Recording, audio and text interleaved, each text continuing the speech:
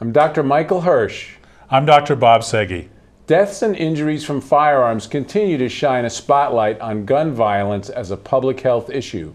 The health risk of guns to young people is especially alarming as firearm violence has become a leading cause of death and injury for children and teens. Guns in the home raise special concerns because they significantly raise the risk of homicide, suicide, and unintentional shootings.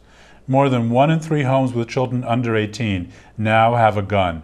If your home has a firearm, we urge you to take precautions to protect your child.